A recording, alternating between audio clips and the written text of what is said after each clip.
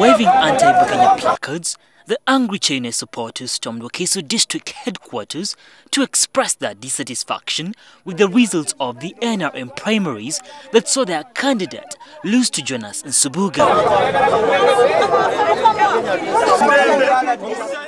Kyeyune's supporters believe the elections were rigged and want a rerun.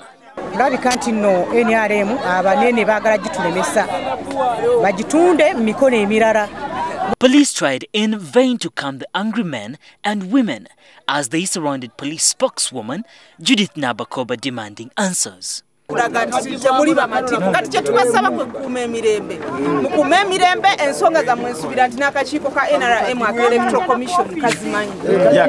Eh, Kazimanyiiko kati tukkirize nti ensonga zaffe bano bazitutte ate era tukkirize nti ensonga zaffe n'akakiiko k'ebyokulonda kakola ki kazikolako They believe outsiders were ferried in to beef up support for eventual winner Jonas Nsubuga.